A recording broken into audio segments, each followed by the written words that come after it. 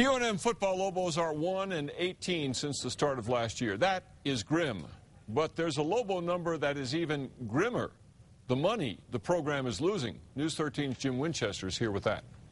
The declining revenue numbers that you're about to see are only based on ticket sales. They don't even include losses and concessions to merchandise and parking and even advertising and sponsorships.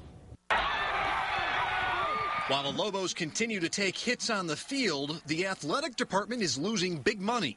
The sea of empty seats at University Stadium Saturday tells the story. The announced crowd for the San Diego State game, 16,000. Right now, UNM's averaging about 22,000 a game, the worst attendance since 1992. We had to file a Freedom of Information Act with UNM to get a better idea of just how much this constant losing is costing the university. Through four home games in 2008, Rocky Long's last year as coach, the Lobos took in $1.5 million from ticket sales. Last year, Mike Locksley's first, that dropped down to 1.2 mil. This year, through four home games, ticket sales have barely topped a million bucks.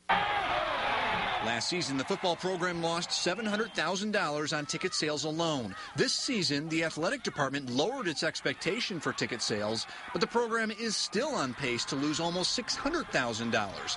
Athletic Director Paul Krebs' office told us that he was unavailable for comment, but students and fans had plenty to say. Somewhere, yeah, especially everybody's cutting budgets, and if we're, we're losing money, it's pretty bad. In terms of morale, though, you know, you want people to have a reason to come here and a viable athletic team is part of that.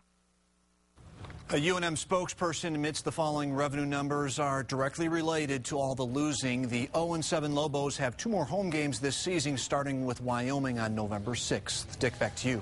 Okay, Jim, and here's another example of how few people there were at Saturday's San Diego State game.